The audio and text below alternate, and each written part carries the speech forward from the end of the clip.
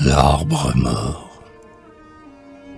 Dressant vers l'horizon sa haute et lourde masse, superbe comme un fils courroucé des titans, il dresse ses rameaux à travers les autos, dans le geste infernal d'un spectre qui grimace.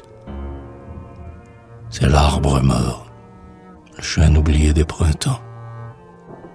Il a vu bien des jours passer de cette place, alors qu'il défiait, plein de force et d'audace, son chef orgueilleux le choc altier des temps. Il est seul. Oh misère. Et, sous la lune froide, il dort, tout droit dans l'ombre, inaltérable et roide, débris sublime, phare en son obscurité. Frère, sachez qu'un jour, parmi l'or blanc des seigles, et là, sous le grand ciel où grandit sa fierté, entre ses bras puissants d'alors, bercés des aigles.